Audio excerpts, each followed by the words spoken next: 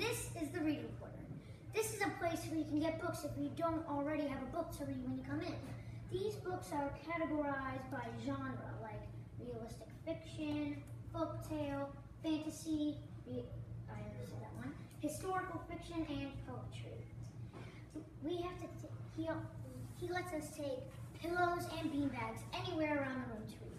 We have to take good care of each book in here. And we have to take good care of each pillow and beanbag.